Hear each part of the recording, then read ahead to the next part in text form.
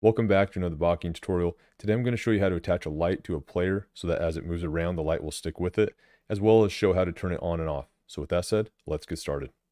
All right, so real quick I want to show you the map rendering settings.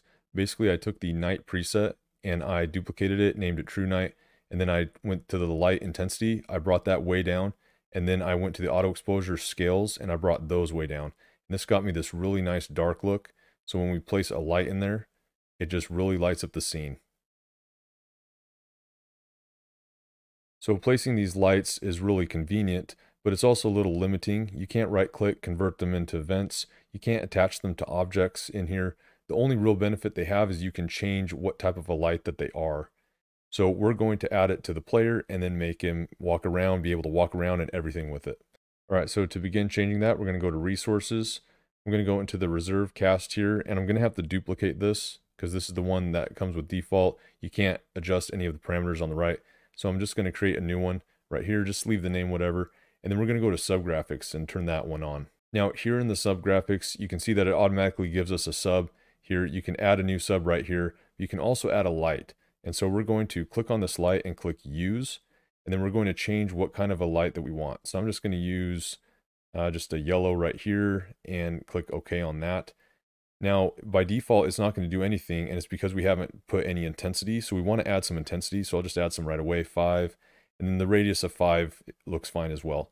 And I'm going to extend this out here, and now we can adjust the relative coordinate y. Now, one thing is, is it's hard to see exactly where it is because it's just invisible. So what you can do is you can actually add a graphic here. Maybe not that one, but we could go to like a basic set, an indoor. Let's just grab, this looks good or let's do this vase here, water jug, and we'll add that as the subgraphic. We'll scale it down pretty small, but now we have a little gauge. So when we start to adjust this, we can see exactly where the light is going to be. And that's way high. So we'll go one and there we can see that's above. You can also see the light shining and that would look like it. He's holding it down. There's a little shade on the head, stuff like that. So when we're done with this, I'm just going to now hide that. And now we have our light where it's at. I'm not sure the scale, I don't think matters on this. Nope. All right, so now we can play test this one and see that the light is in a much better situation. However, it is pretty intense. It's glowing quite a bit. Let's see if we can change that. First, I'll go to resources here and we will just adjust the intensity. Click it back to one. And there we go a much little simpler light as you're exploring the area. And it keeps up with the player, looks really nice. All right, so now let's set up a situation where the player doesn't have the light at the beginning, but when you pick up an object, you now have that light. So the first thing we need to realize is that this subgraphics right here, this use, if you uncheck that, you won't have access to it, at least on the normal scenes. So you need to click this on, you need to keep it on. But what we have to do is we have to actually initialize a subgraphics state. Do we want this one to be on or not at the very beginning? So how you simply can do that is just in a common event. We can add a common event and we'll just add it. And this one for now, I'm just going to say repeat once. And we're going to say on the player down at the very bottom, we're going to change the state of the player subgraphics. We're going to select the first one, which is this variable, and we're going to make it hide.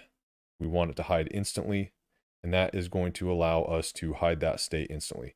Still shown on the map, and but in the playtest it will be hidden.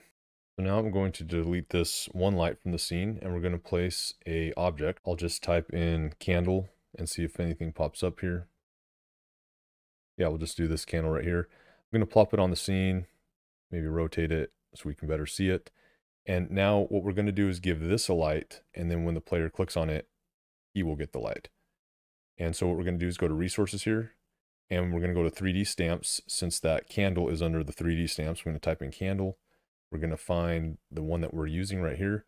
And then you can see that the it already has a bunch of sub graphics here. What we're going to do is we're going to grab this this middle flame here.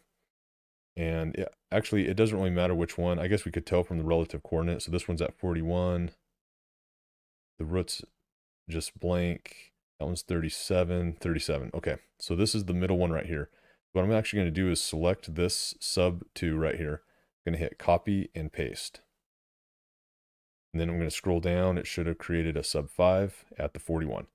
Now what I'm going to do here, so it's already given us the coordinate of this flame, which is about right here. So now I can actually just get rid of the graphic.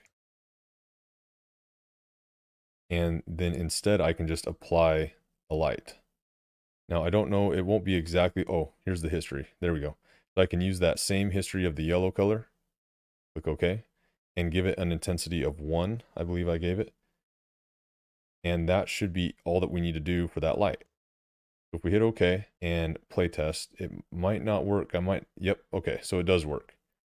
Awesome. And so now we just easily have to set up the event. So I'm going to grab this object. We will convert it into a custom event. I'm going to fix the direction so that it doesn't turn when I talk to it. But when we do talk to it, all we're going to do is we're going to activate a switch. And we're going to create one. We'll just call this one light active and hit OK. And then the next thing it's going to do is it's going to destroy itself, which is in control delete event. So it's just going to basically turn on the switch and destroy itself. And then what we're going to do in the common event, so this one will be called, we'll just say light manager. And this is actually going to be a repeat now, or you could split this up into multiple events. There's many ways to do this, but just for the sake of this tutorial, we can see that we are hiding it now, but if we have a certain switch that we'll check for, so if light active is on, then we're not going to do this. We're only going to do this if it's not on. And then we're going to paste this into here and say that it is visible when it is on. And this should be all that we need to do in order to make this work. We're going to walk up to the light here and we're going to hit go and now we have it.